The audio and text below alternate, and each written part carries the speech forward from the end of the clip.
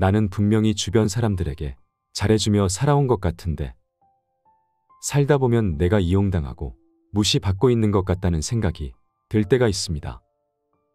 인간관계에 있어서는 항상 무례한 행동을 일삼는 사람과 만나게 되고 정신적으로도 많이 힘듭니다.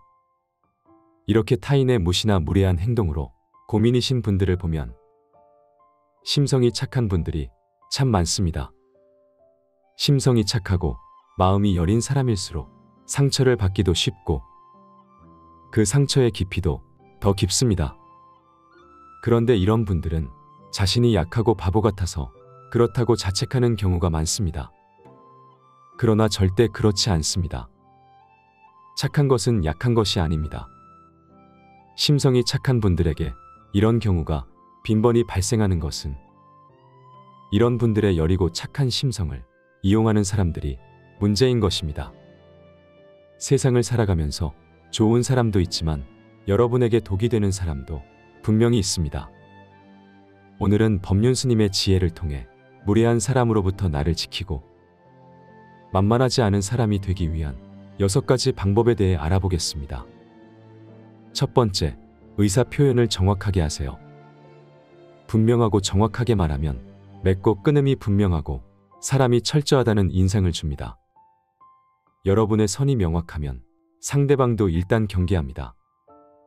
쉽게 보이지 않기 때문입니다. 일과 관련해서는 본인의 업무를 잘 파악하며 분명하고 정확하게 말하는 연습을 해야 합니다. 또한 대화를 할 때 필요한 말을 정리하여 천천히 말하는 것이 좋습니다. 정리하여 말할 줄 아는 사람은 가벼워 보이지 않고 생각의 깊이가 깊어 보입니다. 정확하게 말하는 것은 여러 가지로 해석될 여지를 주지 않습니다. 게다가 빈틈이 없고 단단하다는 인상을 줍니다. 하지만 여유 있고 느긋한 표정과 자세로 말하셔야 합니다. 어색하거나 익숙하지 않을 땐 그것이 말과 행동에 묻어납니다. 쉽지 않더라도 계속 반복하면 여유와 힘이 생깁니다. 처음엔 누구나 어렵습니다. 너무 신경 쓰지 마세요. 처음에는 잘 되지 않고 어렵더라도 분명하고 정확하게 말하는 것은 결국 여러분에게 이득입니다. 그리고 식당에서 주문할 때 원하는 것을 물어보면 아무거나 라고 말하는 분들이 있습니다. 관심이 없을 때는 그럴 수 있지만 자기 주장이 없거나 거절을 힘들어 하거나 다른 의견을 내는 것에 어려움을 느끼는 사람 등의 경우 아무거나 라고 표현하는 경우가 많습니다. 이런 경우에는 다른 사람에게 주관이 없고 약하다는 인상을 줍니다. 이러한 사소한 곳에서의 우유부단한 모습이 발단이 되어 무시하는 행동을 불러들이기도 합니다. 거절이 힘들거나 자기 주장이 어려운 분들은 식당에서 주문할 때 아무거나 대신 자신의 의견을 말하는 연습부터 해보세요. 사소한 것이지만 분명 많은 것이 달라질 것입니다. 자기 주장이 있다는 것은 당당하다는 인상을 줍니다. 거절을 표현할 경우에는 더욱 분명하고 정확하게 말해야 합니다. 그리고 정확하게 전달하고 난 뒤에는 감정이 흔들리거나 우유부단하게 결정을 번복하지 마세요. 상대방이 사정하더라도 바꾸지 않는 것이 좋습니다. 사정을 받아준다는 것을 악용하는 사람이 있기 때문입니다. 만약 받아준다면 그때는 해줬는데 지금은 왜 안 되느냐고 하면서 오히려 여러분을 흔들어 놓을 것입니다. 여러분의 호의를 자신의 권리로 여기는 사람과는 조금 거리를 두는 것이 좋습니다. 호의는 여러분의 자유의지로 베푸는 것일 뿐 의무가 아니기 때문에 호의를 베풀지 못하는 이유를 설명할 필요도 없습니다. 항상 의사표현을 명확히 하시고 거절하는 법을 연습하세요. 두 번째, 어떤 일이든 분명하게 짚고 넘어가세요. 상대방이 애매하거나 비꼬는 말을 하는 경우 상대방이 했던 말의 의미를 진지하게 되묻는 것이 좋습니다. 뱉은 말의 뜻을 분명하게 짚고 넘어가는 것은 더 이상 나의 빈틈을 주지 않겠다는 표현입니다. 그러면 상대방은 농담이라거나 비판하는 반응을 보일 수 있습니다. 이럴 때는 당황하지 마시고 그냥 궁금해서요라고 대답하면 됩니다. 세 번째, 무례한 행동에는 반응하세요.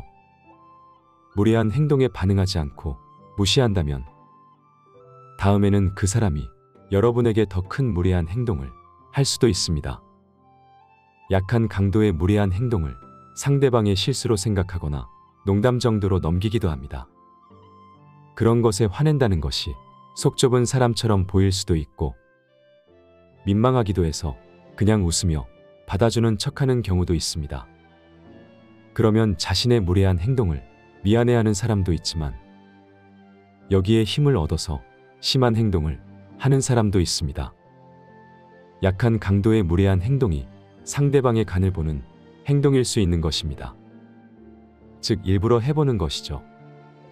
상대의 반응을 보고 다음 행동을 취하는 것입니다. 말을 얼버무리거나 피하려는 자세로 대하면 상대방은 여러분이 약하다고 느낄 것입니다. 실제로 많은 사람들이 그렇습니다. 물론 한두 번 참아줄 수는 있습니다. 그러나 선을 넘는다는 생각이 든다면 참을 필요는 없습니다. 네 번째, 적당히 베푸세요. 베푸는 것은 우리가 미덕으로 여기는 가치 중 하나입니다.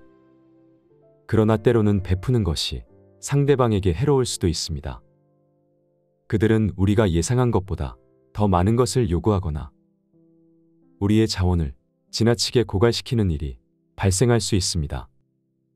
이런 문제를 막는 해결책 중 하나는 여러분 자신을 먼저 생각하는 것입니다. 심성이 착한 분들은 남을 먼저 생각합니다.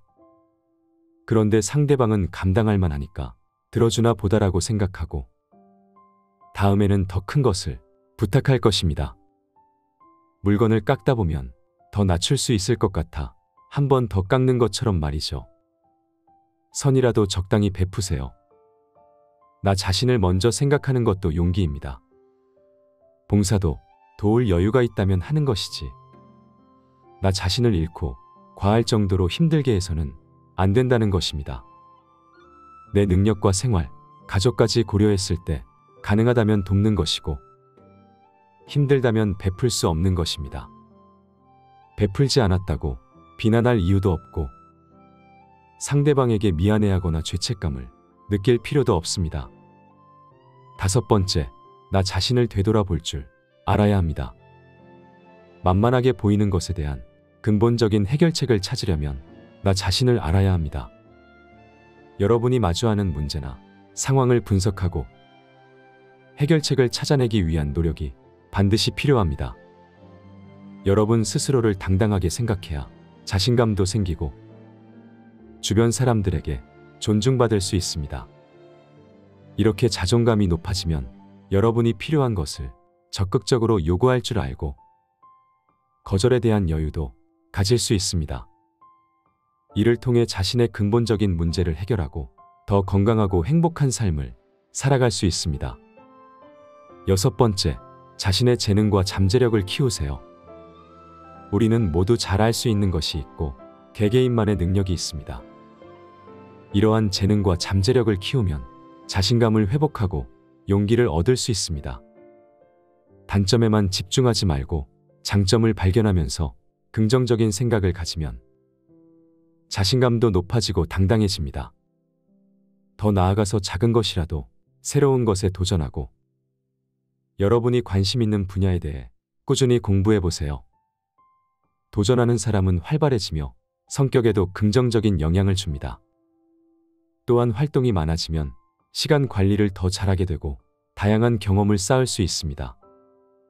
여러분의 재능과 잠재력을 키우면서 자존감과 자신감을 높이고 스스로 존중받을 수 있는 사람으로 거듭나세요.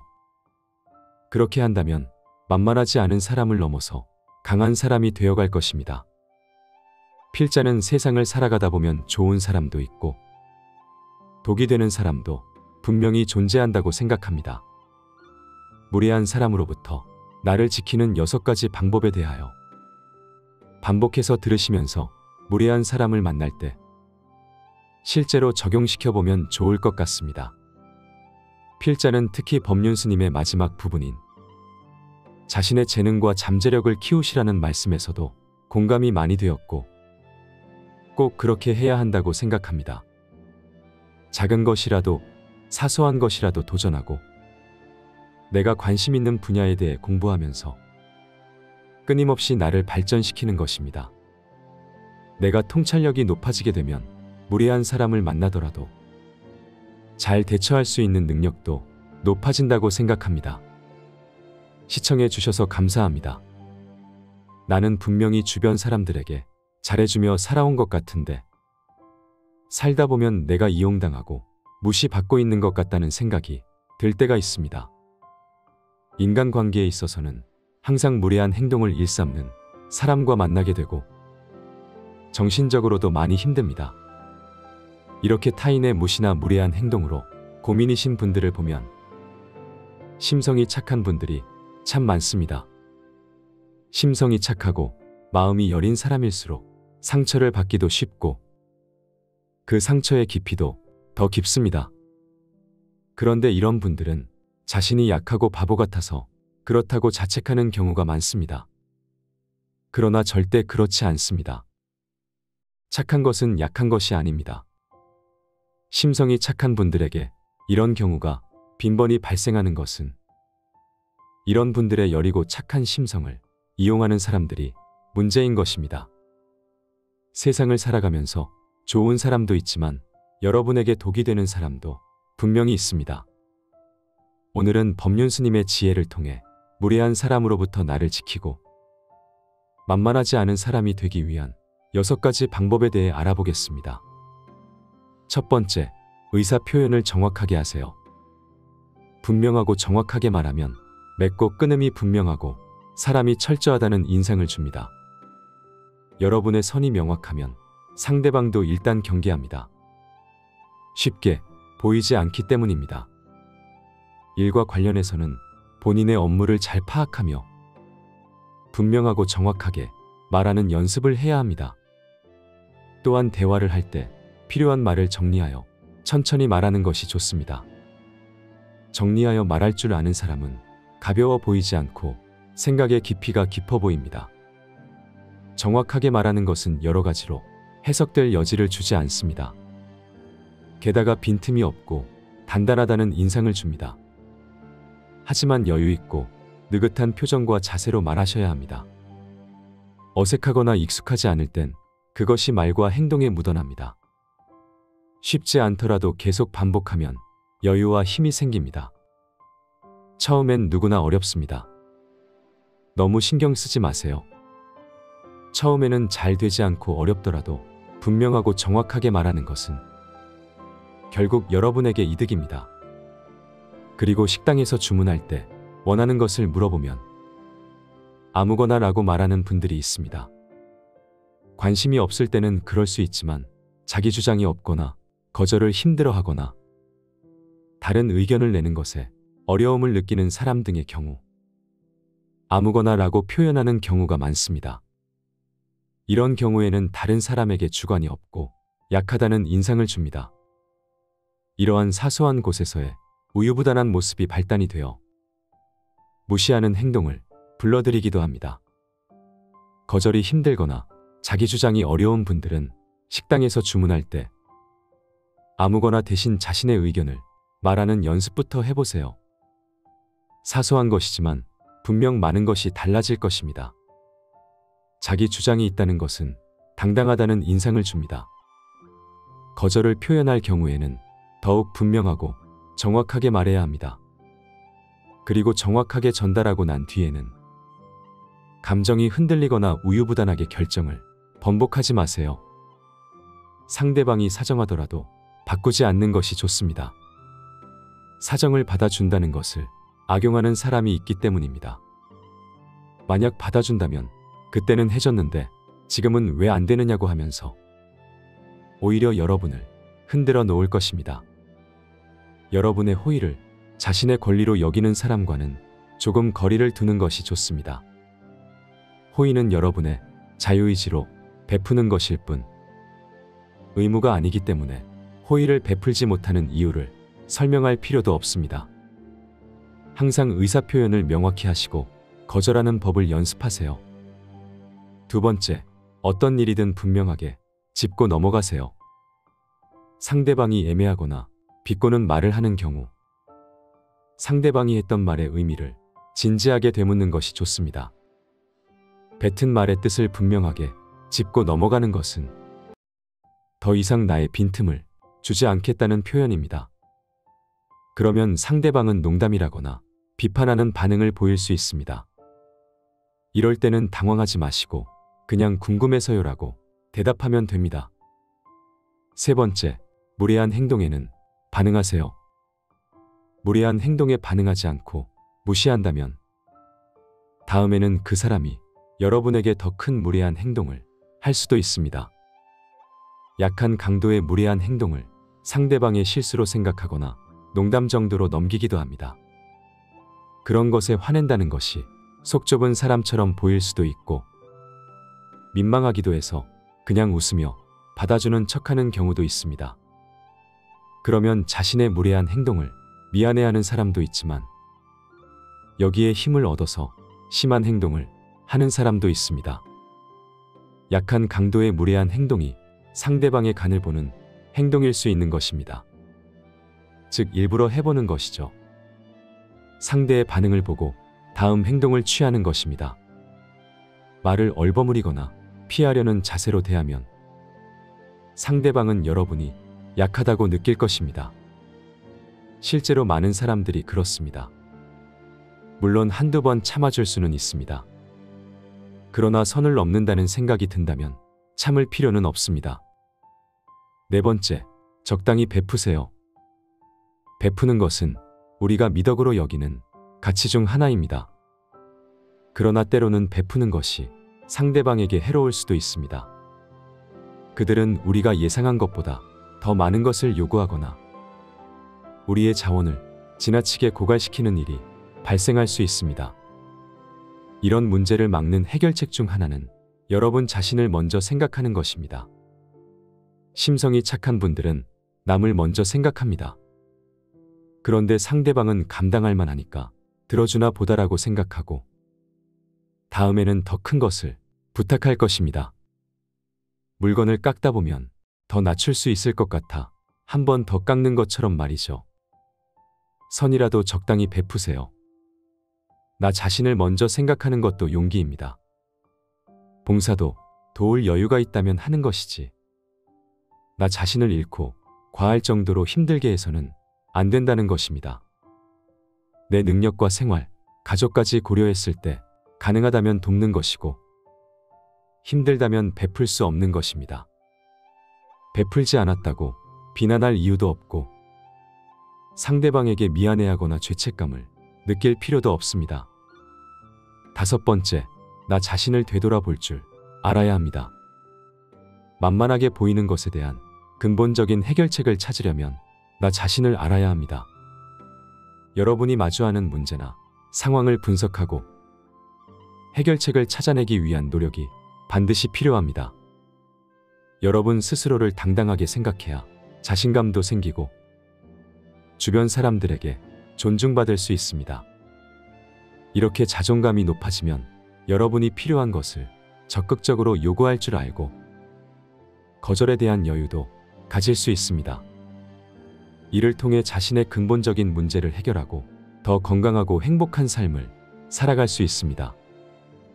여섯 번째, 자신의 재능과 잠재력을 키우세요. 우리는 모두 잘할 수 있는 것이 있고 개개인만의 능력이 있습니다.